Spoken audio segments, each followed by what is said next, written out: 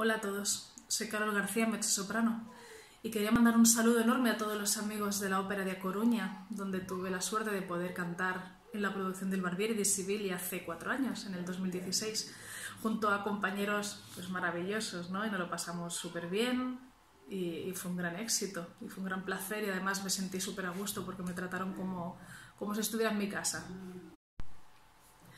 Quería mandar ánimos a todos y fuerza y mucha paciencia sobre todo. Es una situación complicada para todos, difícil. Estamos en una época muy loca que no sabemos lo que va a pasar.